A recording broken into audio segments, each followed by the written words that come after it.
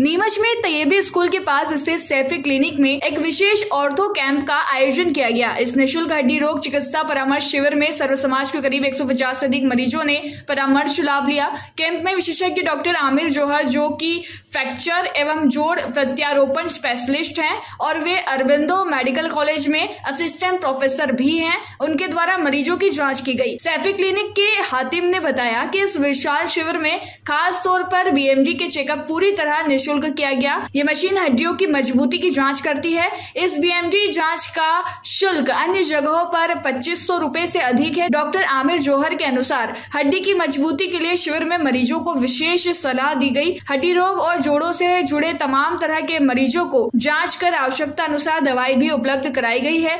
कमर दर्द और घुटना दर्द के मरीजों को एक्सरसाइज चार्ट उपलब्ध कराए गए हैं। उन्होंने बताया कि शिविर का मुख्य उद्देश्य है कि आम आदमी व्यायाम और सक्रियता से अपने आप को चुस्त दुरुस्त बनाए रखे ताकि दवाई पर निर्भरता कम हो। उन्होंने खान पान और जीवन शैली पर विशेष तवज्जो देने की बात भी कही। बताते चले कि नीमच में सैफी क्लिनिक द्वारा समय समय पर विभिन्न चिकित्सा शिविरों का आयोजन किया जाता है और इसमें विशेषज्ञ चिकित्सकों की सेवाएँ उपलब्ध कराई जाती है।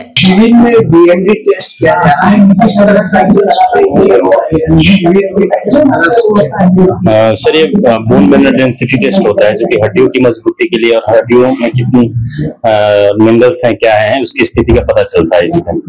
और बाहर ये test almost three thirty five hundred से चार हज़ार पाँच सौ का होता है।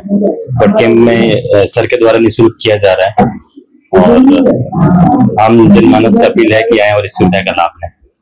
इसमें क्या जाँच की है? इसमें हड्डियों की मजबूती की बेसिकली जाँच होती है कि हड्डियाँ आपकी कितनी मज़बूत है। उसमें कितने मिनरल्स हैं अभी क्या है? हड्डियों की स्थिति। सर आज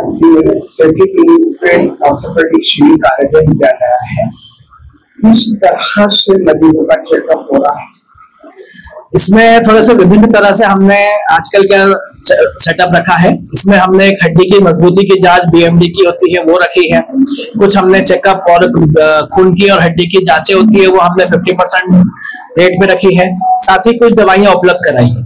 इसके अलावा हमने एक्सरसाइज के हमारे चार्ट होते हैं तो हम चार्ट और मरीज़ को गाइडेंस प्रोवाइड करा है कि किस तरह से ये हमें करना चाहिए।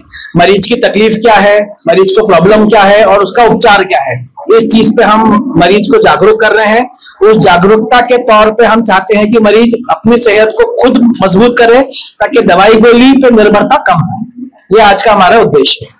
सर क्या खास सलाह आप देना चाहेंगे मरीजों को ऑर्थोपेडिक को लेकर सबसे इंपॉर्टेंट सलाह मैं ये दूँगा कि कसरत करें वर्जिश करें एक्टिविटी बनाए रखें और चलते फिरते रहें। जो ये चार चीज़ों को बराबर फॉलो करेगा उसको ऑर्थोपेडिक रिलेटेड प्रॉब्लम हमेशा कम होंगी और हड्डियाँ मज़बूत रहेंगी। खान पान के लिए क्या सलाह देंगे? खान पान में फल फ्रूट ज़्यादा लें अंडा दही सुजाने की फली हरी सब्ज़ियाँ ये ज़्यादा है। फल फ्रूट और हरी सब्जियों से पोषण से अपना हड्डी और शरीर दोनों मज़बूत रहता है। सर आज आप शिविर में जाँच कर रहे हैं। किस तरह के मरीज़ ज़्यादा है आपके पास? आज के शिविर में मैंने देखा कमर दर्द घुटने दर्द की प्रॉब्लम आज की काफ़ी ज़्यादा बढ़ गई है। ज़्यादातर मरीज़ घुटने और कमर दर्द की परेशानी लेकर के आते हैं।